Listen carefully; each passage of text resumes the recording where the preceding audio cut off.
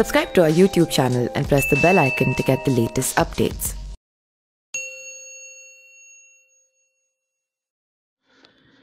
उत्तर प्रदेश में अगले साल होने वाले विधानसभा चुनाव से पहले शिवपाल यादव और अखिलेश यादव की आपसी कला फिर से सामने आ गई है। प्रगतिशील समाजवादी पार्टी के अध्यक्ष शिवपाल सिंह यादव ने इस बार अखिलेश यादव और समाजवादी पार्टी पर बड़ा हमला कर दिया है। उन्होंने कार्यक्रम में पहुँचने के बाद उन्होंने बोला कि मैंने भी पांडव की तरह सम्मान मांगा था, लेकिन अब कौरवों से युद्ध होगा। इटावा में एक शोरूम का उद्घाटन करने पहुँचे शिवपाल ने कहा, अब तो युद्ध ही होना है, क्योंकि द्रोणाचार्य और भीष्म को कोई नहीं मार सकता था। पांडवों ने तो पाँच गाँव मांगे थे और पूरा राज्य कौरवों के लिए छोड़ दिया था। उसी तरह मैंने भी अपने साथियों के लिए सम्मान मांगा था, लेकिन अब मैं इंतज़ार करते करते थक गया हूँ। आज भी मैंने फ़ोन किया था, मैसेज किया था, बात कर लो, बात करना ज़रूरी है, भाजपा को हटाना भी ज़रूरी है, लेकिन अभी तक कोई बात नहीं हुई है।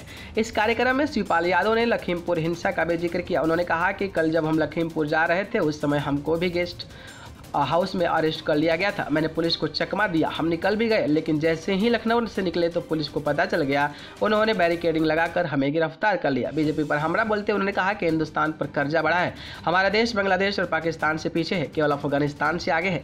यूपी चुनाव को लेकर अखिलेश और शिवपाल के बीच अब तक गठबंधन को लेकर बात नहीं बन सकी है। शिवपाल ने अखिलेश यादव को ग्यारह अक्टूबर तक का गठबंधन पर सब कुछ फाइनल करने का अल्टीमेट दिया है। अखिलेश से बात नहीं बन पाने के कारण शिवपाल दूसरी पार्टियों से भी गठबंधन नहीं कर पा रहे हैं। हालाँकि बताया जा रहा है कि गठबंधन को लेकर ओवैसी और ओम प्रकाश राजभर से भी बात चल रही है। अब देखना दिलचस्प होगा कि आखिरकार चुनाव से पहले शिवपाल सिंह यादव अपने चच्चा को अखिलेश यादव अपने पार्टी में शामिल करवाते हैं या फिर शिवपाल सिंह यादव जिस तरीके से कौरों की बात करके सामने आएँगे और अखिलेश यादव को नुकसान पहुँचा सकते हैं। आपकी क्या राय है? कमेंट बॉक्स में ज़रूर बताइएगा। धन्यवाद।